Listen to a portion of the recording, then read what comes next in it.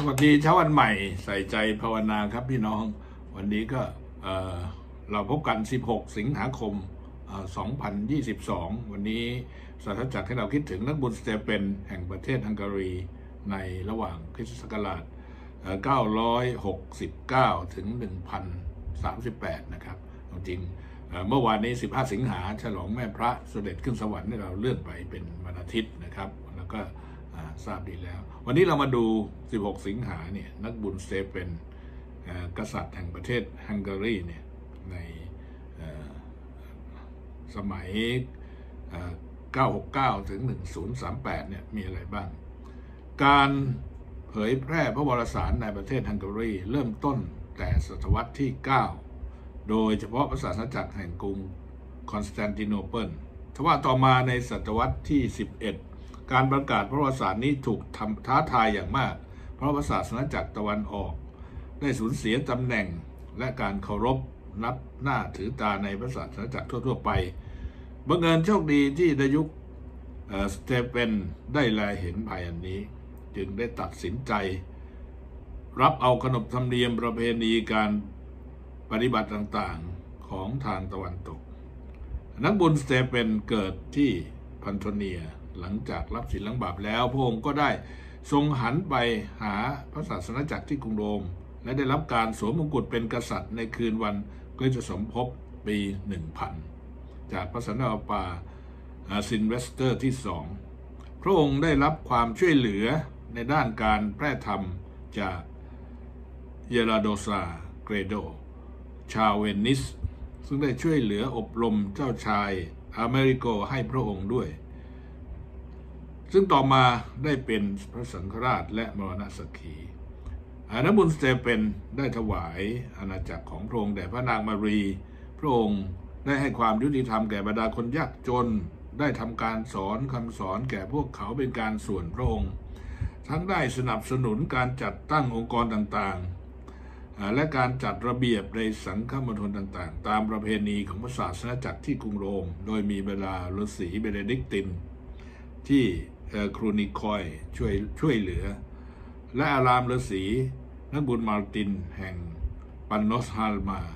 ได้กลายเป็นศูนย์กลางการแพร่ธรรมใหญ่ที่สุดแห่งหนึ่ง นักบุญเซเปนได้รับการประกาศแต่งตั้งเป็นนักบุญเมื่อปี 1083 จากพระสนตะปาเกโกรีที่ 7 พร้อมกับเจ้าชายนักบุญอเมริโกซึ่งจบชีวิตลงตั้งแต่ยังเยาว์วัย และเป็นแบบอย่างของความไร้เดียงสา นักบุญเซเปนและนักบุญอเมริกต่างเป็นคารวะธรรมดา แต่ได้เป็นแบบอย่างสำหรับทุกเราทุกคนในการทำงานช่วยพระศาสนาจักรแสดงให้เราเห็นว่าท่านทั้งสองมีส่วนในการแพร่ธรรม พร้อมกับสมาชิกคนอื่นๆของพระศาสนาจักรเหมือนกันนะพี่น้อง เราไม่ค่อยได้ยินชื่อ ไม่ค่อยรู้จักประวัติของ นบุญเซเป็นกษัตริย์แห่งฮังการีนะท่านอยู่ในประมาณปีหนึ่งพันอะไรอย่างนี้นะแล้วก็มีบุตรชายด้วยบุตรชายทุกท่านก็เป็นผู้ศักดิ์สิทธิ์และเป็นทั้งบุญด้วยเหมือนกัน ตั้งแต่อย่างเล็กๆในในความเชื่อของท่านเนี่ยท่านเกิดมาเป็นกษัตริย์ท่านจะเอ่อเจริญชีวิตยังไง ท่านก็สามารถที่จะมีความสุขมีความเอ่อทำอะไรได้ทุกอย่างในบรมมหาราชวังนั้น ในเวลาเดียวกัน ในพระพรของพระเบญเจ้าที่ประทานให้กับท่านนั้นก็ทำให้ท่านได้เจริญชีวิตและก็มองเห็นความรักของพระเบญเจ้าที่มีต่อมนุษย์ ได้ทุ่มเทได้ใช้โอกาสที่เป็นกษัตริย์เนี่ย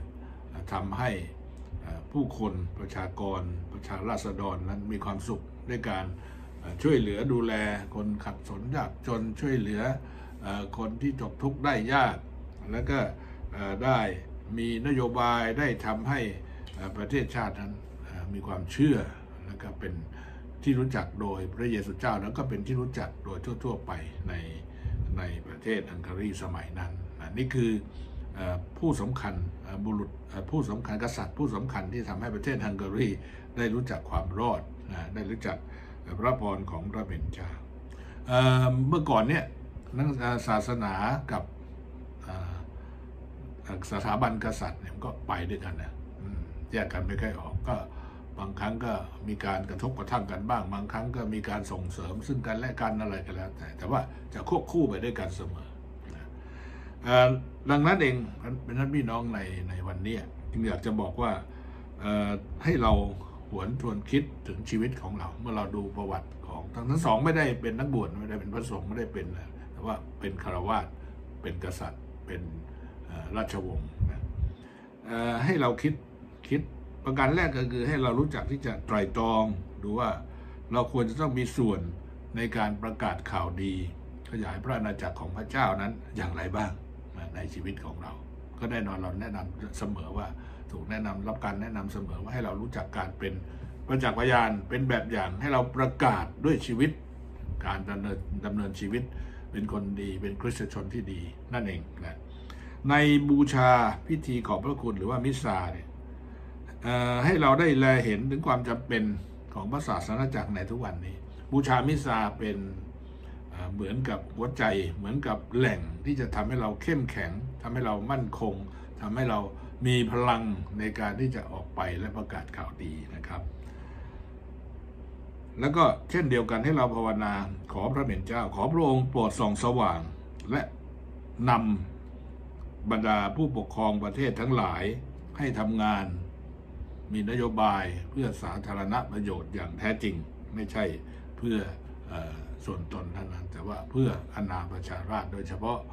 ในประเทศต่างๆ นั้นจะเป็นรัฐบาลก็ตามจะเป็นผู้นำประเทศต่างๆ ก็ตามนั้น รู้จักที่จะดูแลและเอาใจใส่ที่จะทำให้ประชาชนในประเทศของตนนั้น ได้รับสันติสุขอย่างเต็มเปี่ยม และก็อย่างแท้จริงจริงๆนะครับ นี่คือสิ่งที่